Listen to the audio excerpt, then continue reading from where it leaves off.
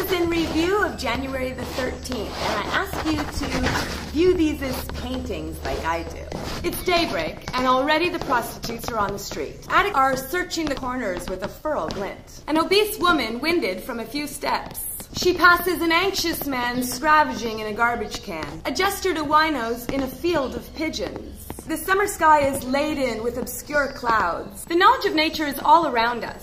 But sometimes the weight of our poor habits and our bad circumstances, our lack of exposure to philosophy hampers us. Although every person should be equally valued as a human being, not every person is equally as sensitive to the knowledge of nature. Ignorance is our predominant mode of life.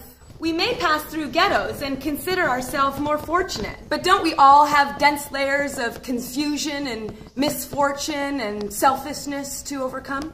Confusion and selfishness to dissolve. The knowledge of nature can be known by progressive purification and self-cultivation. However, the opposite is also true. Ignorance can be compounded and made denser until the light of our spirit is smothered. The light of the soul is bright, but human ignorance can but the dense cloud of human ignorance can obscure it. Cloud of human ignorance can obscure it. Where are you in terms of your effort to make your life brighter?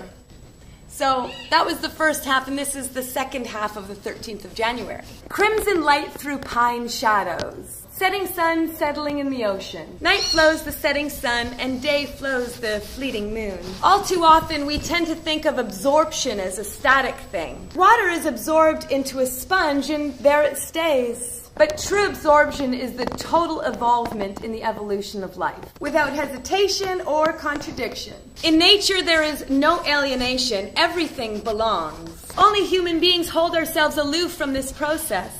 We have our civilizations, our personal plans, and our own petty emotions. We divorce ourselves from process even as we yearn for love, companionship, understanding, and communication. We constantly defeat ourselves by questioning and asserting ourselves at the wrong moment. We sometimes let hatred and pride and ego cloud our perception. All alienation is self-generated. And in the meantime, all of nature continues its constant flow. We need to let ourselves go and enter freely into the process of nature. We need to just become absorbed in it. If we integrate ourselves with this process, we will find success. Then the sequence of things will be evident as the coming of the sun. As the coming of the sun and the moon, everything will be just as it should be.